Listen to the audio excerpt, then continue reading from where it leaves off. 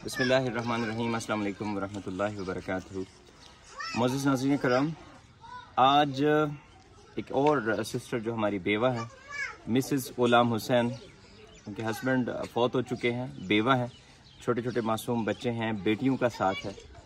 दोस्तों, जो बेवा ख़वातीन हैं, उनके बेतहाशा मसाइल हैं। हम पिछले दो ढाई साल से इन लोगों के साथ कांटेक्ट में हैं और इन लोगों के मसाइल को बेहतर तरीके से जानते हैं और ये हर शख्स जानता है।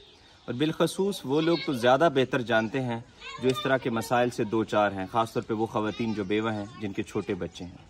ये मैं एक बाजी के घर में मौजूद हूँ। इसके घर की जो बात है, मेरी प्यारी वालदा ने इनके लिए पुख्ता घर का ऐलान किया है कि वो इनके लिए घर बनाएँगी, जिसमें एक बरामदा होगा, वाशरूम होगा और बाउंड्री वाल होगी इन तो जो जो इसके काम हैं, वो इंशाल्लाह मुकम्मल होंगे। अल्लाह के हुक्म से पहले भी काम मुकम्मल हो रहे हैं। मैं थोड़ा सा ओवरव्यू देता हूँ इनके घर का और थोड़े से आपको मसाइल बताता हूँ।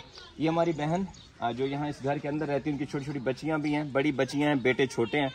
ये इनकी दीवार को देख सकते हैं जिसको सपोर्ट दी गई है, दीवार ये गिरने वाली है। ये दीवार तकरीबन कुछ दिन बाद गिर जाएगी। ये टूट फूट का शिकार है, कोई दरवाज़ा प्रॉपर नहीं है। और दरवाज़ा है कैसा कि जिसका दूसरा पल्ला ही नहीं है। दूसरा पार्ट है ही नहीं है। तो जिस घर के अंदर बच्चियाँ हों, उनकी सेफ्टी के लिए एक अच्छे डोर का होना भी ज़रूरी है बाउंड्री वाल का होना भी ज़रूरी है। और सबसे मेन ज़रूरत जो है, हर घर के अंदर वाशरूम की होती है।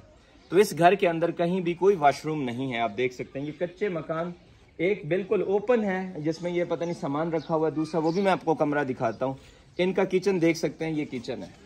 ये जिस ओपन जगह है जहाँ पर ये गाँव देहात में इसी तरह का होता है खैर लेकिन इनके पास कोई वॉशरूम की सहूलत नहीं है। ये मेरी बाजी यहाँ पर मौजूद है मैं उनसे बात भी करता हूँ। ये इनके बच्चे ये बच्चा अपने वालिद का death registration certificate Ghulam Hussain साहब का ये डेथ रजिस्ट्रेशन सर्टिफिकेट लेके खड़ा है। बड़ा बेटा यही है। क्या नाम है बेटा आपका? सदी क्या करते हो? होटल का काम। होटल पे क्या करते हो? चाय देते हैं। कितने पैसे मिलते हैं? सौ रुपए।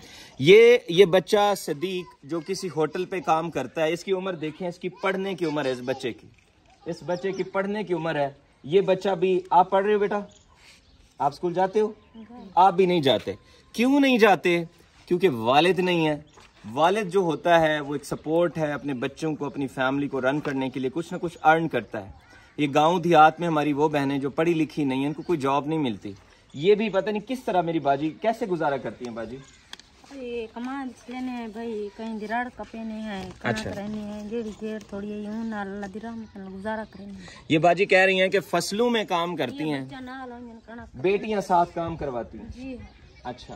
जी वो ना कपेने इस बाजी की आपको हालत बता रही है कि इस मतलब अपने छोटे बच्चों को पालने के लिए मेहनत मजदूरी करती हैं। मेरी बहन, आप हक हलाल का कमाती हैं।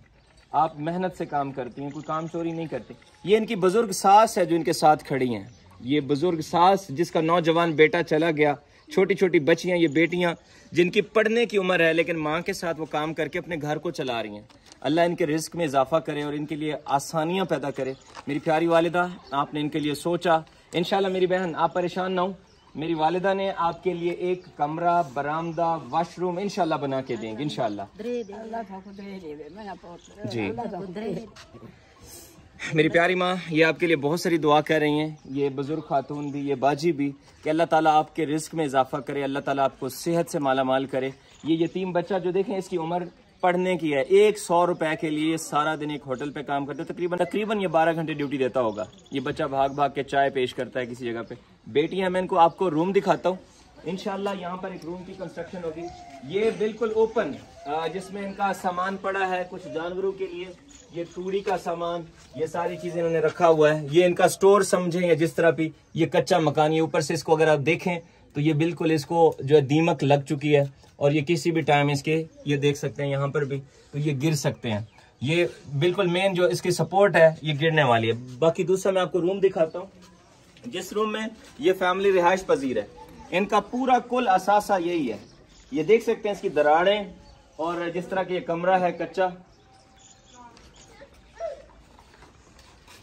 ये इनका रूम है, छोटा सा रूम जिसके अंदर ये पूरी फैमिली रहती है। ये इनकी पेटी, जिसे बॉक्स कहा जाता है, इसमें इनका कुछ सामान होगा और बाकी ये चारपाई है इस फैमिली के लिए और ये सारी छत। और मैं छत की हालत दिखाता हूँ। यहाँ से आप देख सकते हैं कि ये ऊपर से ये जो जो ये ये यहाँ पे जो सपोर्ट है, या जो ऊपर से वो डाला जाता है, ये खत्म हो चुका है। ये एंड हो चुका है। और ये किसी भी टाइम बिलखसूस जब बारिशें आती हैं, बारिशों में बहुत बड़ा मसला होता है कि ये लोग बेचारे इतने परेशान होते हैं। ये ये चारपाई को इधर मूव करेंगे, कभी इधर मूव करेंगे, क्योंकि ऊपर से बारिश का पानी आता है। तो अल्हम्दुलिल्लाह, अल्लाह तबारक वाली मेरी प्यारी वालिदा आपको बहुत जजा दें। इनशाला ये जो प्रोजेक्ट है, ये फोर हंड्रेड थाउज़ेंड का जो प्रोजेक्ट है इनशाला ये मुकम्मल होगा इन यतीम बच्चों के लिए, इस बेवा बहन के लिए। इनशाला इनशाला ये घर जल्दी मुकम्मल करेंगे।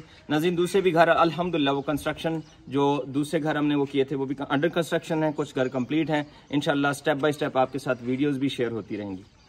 ये आप लोगों के साथ, आप लोगों को बताने का मकसद जो है, मेरे अपने नाजरीन से शेयर करने का मकसद ये है कि अल्हम्दुलिल्लाह, वो हमारे प्रोजेक्ट जो अल्हम्दुलिल्लाह हमने अनाउंस किए थे, वो अंडर कंस्ट्रक्शन है। और ये गुड न्यूज़ भी आप लोगों के साथ शेयर करते हैं। ये हमारी सक्सेस स्टोरीज़ हैं, जो आप लोगों को बताई जाती हैं कि अल्हम्दुलिल्लाह हम किस तरीके से काम कर रहे हैं। अल्लाह पाक का बहुत एहसान है कि मैं और मेरी प्यारी वालदा मिल के ये जो प्रोजेक्ट किया जा रहा है, अल्हम्दुलिल्लाह हम खुश नसीब हैं कि इस तरह के बच्चों और इस तरह की खातन के लिए जो सपोर्ट है, अल्हम्दुलिल्लाह है और इन जारी रहेगी।